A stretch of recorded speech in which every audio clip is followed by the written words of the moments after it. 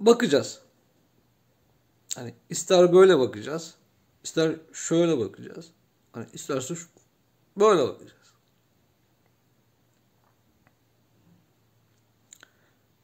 Şimdi mesela işte eylem yasa işte sıfat mesela kavram hani neyse buralara böyle çok takılmadan artık başlangıç mesela dilse sonrası sembollerse daha sonrasında yazı ise ha? aslında biz ne yapmışız? Şunu yapmışız.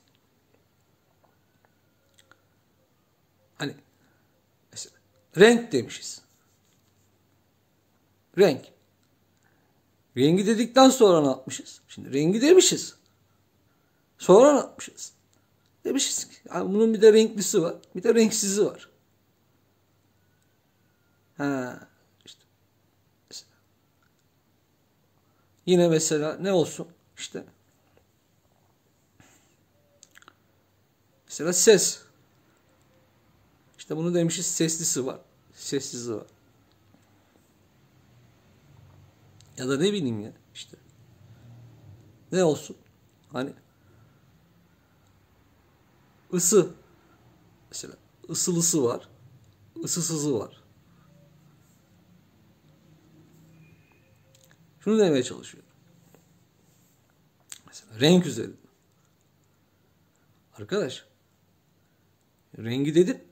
Renkli dedim. Sonra renksiz dedim. Renksiz diyerek ne yapıyorsun? Sanki adamda renk yokmuş gibi. Bu mevzuyla böyle yine böyle bakacağız yani. Basitinden ya. Hani, renksiz dediğin senin aslında ne? Yine onun rengi ya. Rengi.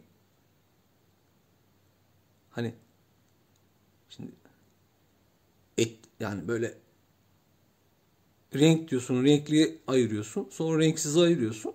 Sonra da neymiş efendim? İşte renksiz diyerek de aynı zamanda hani yok edebiliyorsun.